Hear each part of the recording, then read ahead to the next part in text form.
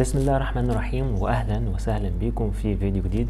في الفيديو بتاع النهارده هنتعرف مع بعض خطوة خطوة إزاي تطلع آه، تأشيرة أو فيزا دولة الإمارات من موقع طيران آه، الاتحاد وال يعني التقديم على الفيزا دي متاح للجميع سواء لو كنت من الجزائر أو من المغرب أو من مصر من السودان من اليمن من أي دولة هنتعرف عليها إزاي آه، تمشي الخطوات واحدة واحدة وإزاي تملى ال application هنملاها مع بعض. لكن قبل ما نبتدي ما تنساش إنك تدوس على like عشان الفيديو ده يوصل لأكبر عدد ممكن من المهتمين وكمان اشترك في القناة أولا عشان تدعمني ثانيا عشان تتابع الفيديوهات اللي جاية. ولو عندك أي استفسار أو تعليق أو أي حاجة عايز تستعلم عنها آه، اكتبها لي في ال commentات تحت وهرد عليك خلال 24 ساعة وما تنساش إن كل يوم بنعمل live أسئلة وأجوبة فابقى شاركنا فيه بكل أسئلتك.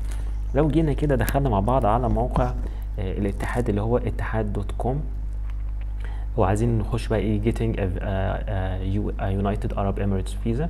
ندخل بقى على موقع على هنضغط على apply for UAE visa. المفروض إنها هتظهر لنا بعد كده الصفحة دي معلش النت بيحمل شوية. آه، تمام. فهنا بقى إيه؟ أنا عايز أقدم على أنهي فيزا؟ tourist visa فيزا سياحية ولا فيزا سياحية multiple اللي هو أدخل وأخرج كذا مرة ولا يعني بتختار بقى نوع الفيزا؟ هنا في عندك مثلا service visa إحنا هندخل على ال tourist آه، فيزا. آه، في عندك اختيارين إيه، تطلع فيزا ولا تمد فيزا؟ هنختار نطلع فيزا ايشو فيزا. بعد كده هو هينقلني على الصفحة دي. في الصفحة دي المفروض إن هو هيسألني شوية أسئلة. أنت رايح الإمارات هتروح على أبو ظبي وهت- وهتوصل هناك من مطار إيه؟ مطار أبو ظبي. بتختار المطار اللي أنت هتوصل منه. وأنا أنا جاي منين؟ هقول مثلا جاي من الجزائر مثلا Algeria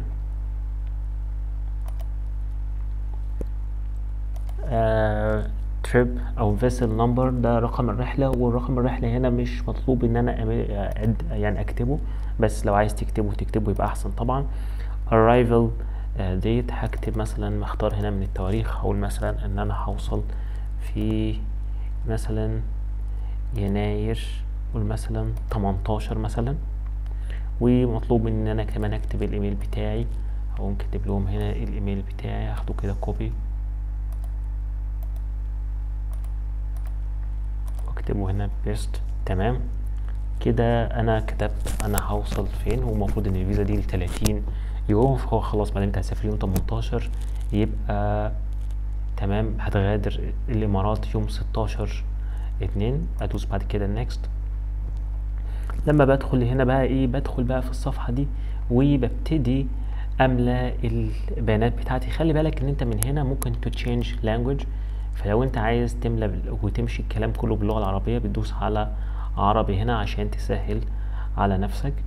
فأنا غيرت اللغة هنا عشان خاطر إيه يكون واضح بالنسبة للناس اللي يعني ما بتعرفش تتعامل باللغة الإنجليزية. اكتب اسمك إيه علي علي مثلا. آه الاسم كامل بالعربية. علي علي. آه.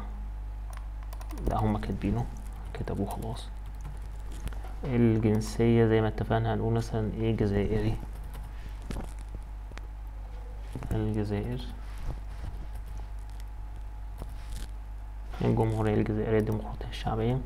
الجنسية السابقة مفيش هنقول هنا إيه ذكر. تاريخ الميلاد مثلا هنقول مثلا مثلا كام؟ تم أي رقم؟ إحنا بس بندي مثال هنا. بلد الميلاد الجزائر. الحالة الاجتماعية مثلا أعزب. كل واحد بقى بيكتب البيانات الشخصية بتاعته. مكان الميلاد فين؟ الج... ألجيريا. مكان الميلاد في العربية؟ الج... الجزائر أو كتبنا ألجيريا مش مشكلة. آه اسم الأم مثلا أي حاجة مثلا آه أي حاجة فاطمة مثلا. اسم الأم آه باللغة الإنجليزية. تمام. الحالة التعليمية مثلا نقول مثلا إيه تعليم ثانوي مثلا لو أنت تعليم ثانوي. المهنة مثلا آه صنايعي. كهربائي مثلا. كهربائي مثلا.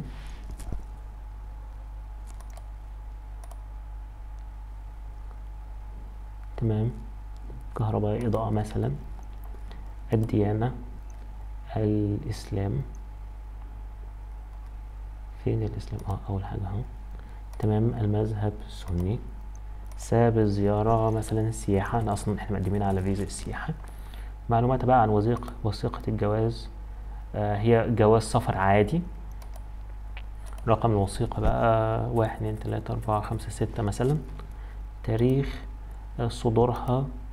تمام هنقول مثلا صدرت كام في في عشرين مثلا أغسطس سبعة مثلا تاريخ انتهائها هتنتهي مثلا في تمانية وعشرين مايو عشرين مثلا.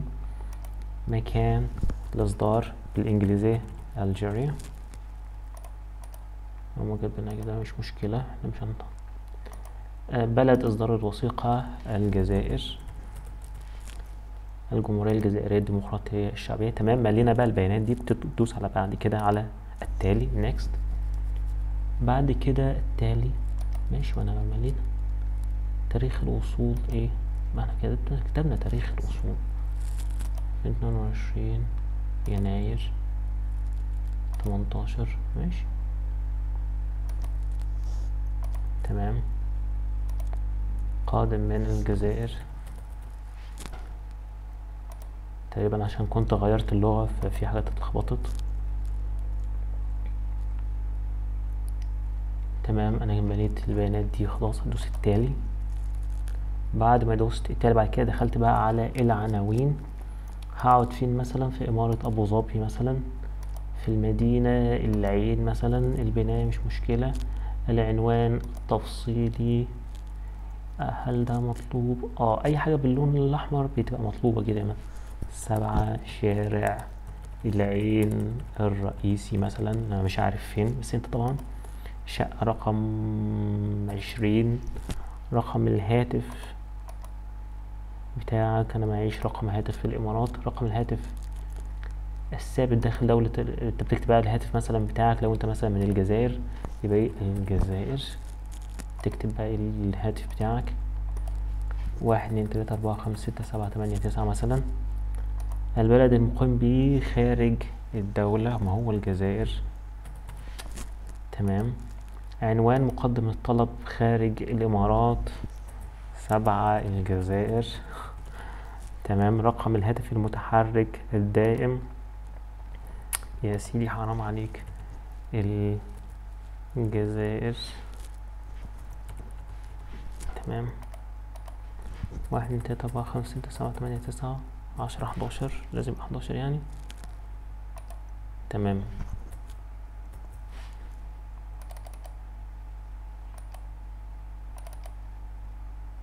داخل دولة الإمارات.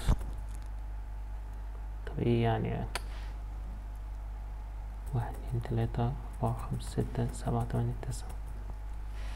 رقم العنوان غير صحيح. الإمارات العربية شوف أي رقم. زيرو.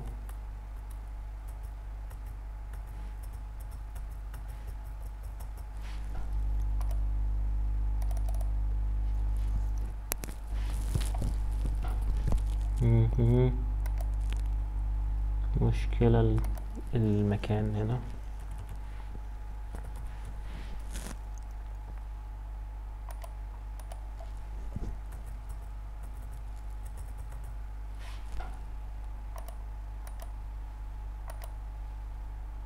ندوس next كده. مش هيرضى طبعا إن أنا أدوس next بغير إن أنا املى الخانة دي.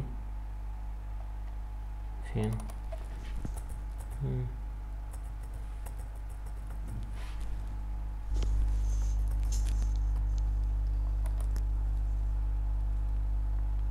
رقم الهاتف الثابت. هو يقصد إيه رقم الهاتف الثابت؟ آه طب إحنا ممكن نعمل إيه؟ نيجي مثلا أي فندق في الإمارات. هوتيل in United Arab Emirates. وناخد رقم التليفون بتاعه مثلا مثلا نجوم امارات هوتيل مثلا دوت. نشوف الرقم بتاعه كام.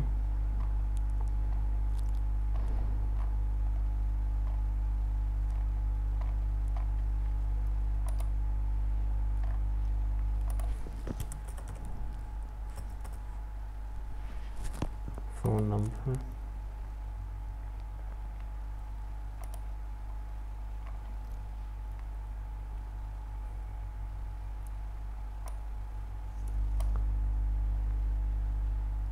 تمام.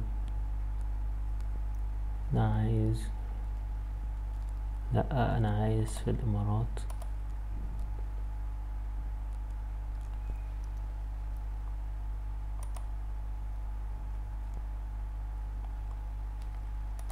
تمام. هناخد بقى إيه؟ الإمارات دولة الإمارات العربية المتحدة. plus تسعة سبعة واحد. بعد كده الرقم هيبتدي باتنين. control C. control V. اتنين. ستة سبعة تسعة. ستة سبعة تسعة. تسعة تلات صفار تسعة واحد اتنين تلاتة. تمام؟ ممكن تاخد اي أهو دلوقتي لما جينا مثلا دخلنا رقم أي أوتيل في الإمارات فمثلا لو أنت حاجز فندق معين تدخل الرقم بتاعه هنا وخلاص هو هيعدي لك المرحلة دي. عدينا مرحلة هنا هتدوس بقى على التالي. آه المرفقات بقى يرجى العلم بأنه هو يتم الحصول على المرفقات التالية. فأنت مثلا محتاج إن أنت ترفع إيه هنا محتاج إنك ترفع صورة شخصية ليك وصورة من الجواز السفر بتاعك. فالصورة الشخصية مثلا اختار ملف مثلا من الديسكتوب ولأي صورة مثلا. أي صورة مثلا اختار الصورة دي مثلا أي حاجة. واختار مثلا ملف إجباري ملف إيه؟ ملف إجباري. طبعا لازم يكون ملف بصيغة بي دي اف اختار أي ملف من الملفات القديمة اللي عندي. آه اختار إيه اختار إيه اختار إيه مثلا. آه training مثلا. لا أنا عايز حاجة فيها ورقة واحدة. آه اختار دي مثلا. عايز ملف أصغر. ف أختار له مثلا مثلا مثلا مثلا. مش عايز أطلع الباسبور بس تمام مش مشكلة. مثلا يعني. ده صورة الباسبور. بعد كده هدوس على التالي. وبعد ما أدوس على التالي تم حفظ الطلب في المسودات أهو. تمام. بعد كده مراجعة الطلب ده بقى اللي بتراجع فيه بقى إيه؟ كل البيانات بتاعتك. عندك بقى كل البيانات بتاعتك بتراجعها. لو في أي حاجة عايز تعدلها بتدوس على تعديل هنا. تمام؟ وبعد كده بتدوس على التالي. وبعد كده بتدخل بقى مرحلة الرسوم. لو أنت عايز تدفع الرسوم بتدوس بقى إيه؟ على أوافق على الشروط والأحكام.